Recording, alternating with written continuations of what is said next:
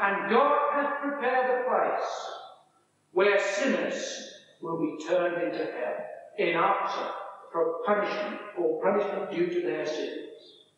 I read in the Bible that the Lord Jesus Christ came into the world as a substitute to die in the place of the sinner.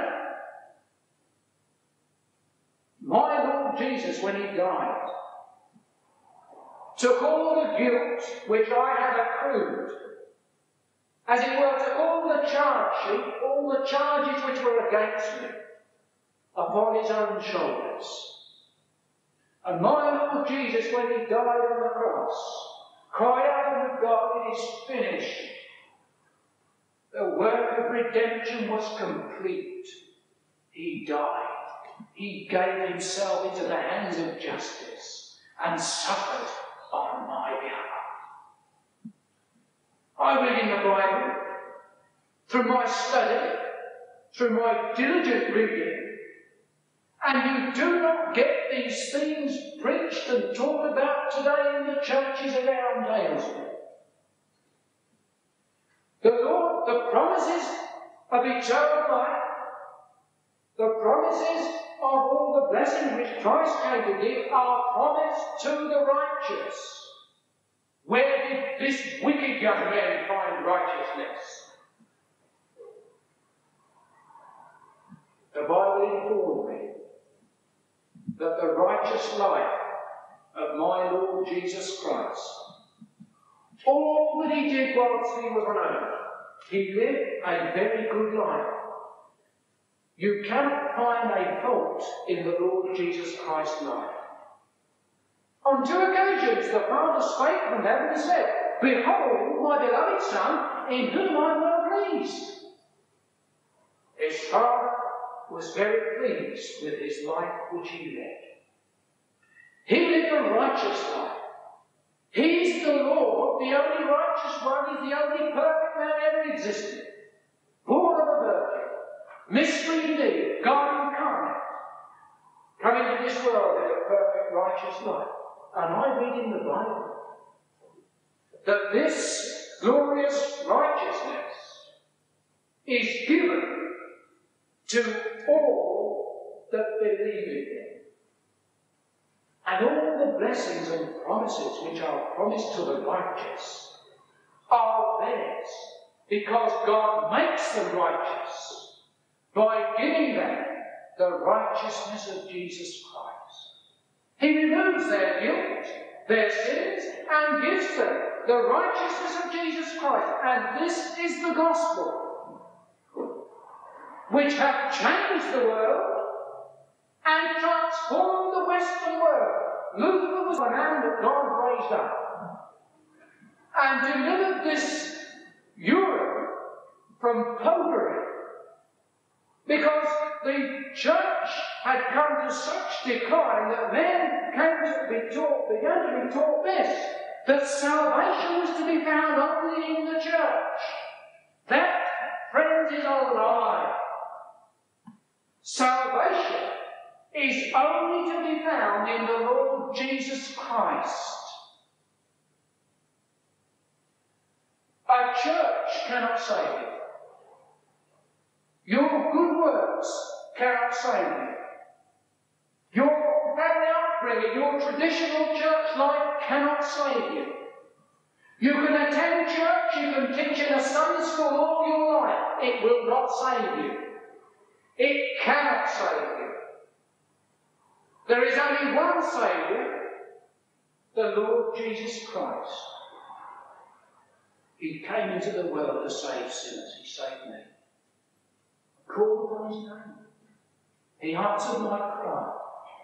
And this same Lord Jesus whom I worship and seek in prayer and call upon today hath blessed me with a family, with a children, with a home, with a job which far exceeds and is above and beyond measure all that ever I could ask or think. It is the Lord's doing. The Lord Jesus Christ doing it. And He can do the same for sinners such as I was. In speaking to Moses, he said, I will have mercy on whom I will have mercy, and I will have compassion on whom I will have compassion. So then, salvation is not to do with the will of man. Scripture says, It is not of him that willeth, nor of him that runneth, but God that shows mercy. It's a fearful thing to fall into the hands of the living God. It is only the love of God which separated me and called me. There was nothing in me to merit salvation.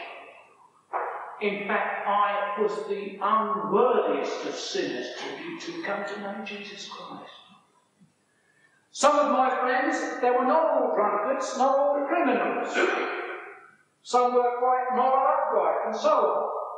But they, if you like, according to the world's terms, they deserve this salvation more than me. But God's salvation is nothing to do with the merit or demerit of man. God saves whom he wills. If he has purposes of grace to save you, it into your heart to seek him. And they that seek the Lord Jesus Christ, while it is today, will find him. The steward of this household in Luke 14, the text of scripture which we read, was informed to go out in the highways and byways to compel them to come in. This, I believe, is the theology and the evangelism of the Bible. To go firstly to your parents, family, home, then preachers into the highways and byways compel them to come in, to hear of all what God is doing in the Lord Jesus Christ and through him. And to such people that feel that they are sinful men and want to be saved with the salvation which Jesus Christ came to bring, Jesus Christ says this Come unto me, all ye that are weary and heavy laden, and I will give you rest. Those of you that have lived life know what it is to suffer torment of mind, distraction of mind, trouble, disorder, havoc in the mind, trouble, break up in business, in homes, and everything. There is only one God that can answer your needs the Lord Jesus Christ. He is the one to look to. And he is the Lord that I bring to you and speak to you of today. He's a very good Saviour. I can direct you to the Bible. I can direct you to the Lord Jesus Christ.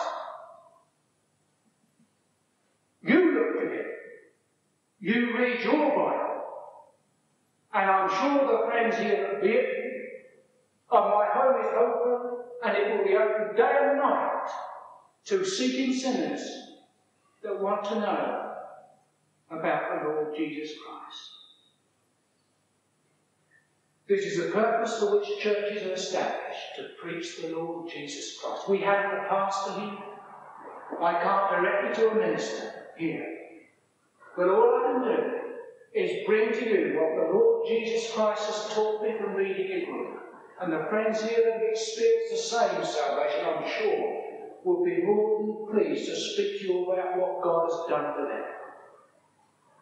Therefore, what more can I say? The Lord Jesus Christ has saved me. Did I have a good service, don't you think? Does the same and will do the same until he brings this world to a close. And all the sinners that forget God will be turned into hell they that are redeemed with this salvation but will enter into that kingdom which has been prepared before ever the world was. They don't deserve it. They've got nothing to boast of. All that they can boast of is that the Lord Jesus Christ is the Lord, the Saviour, It is absolutely a free gift of God. That, dear friends, is the gospel. And may, may the grace of our Lord Jesus Christ and the love of God and the communion of the Holy Ghost be with you all evermore.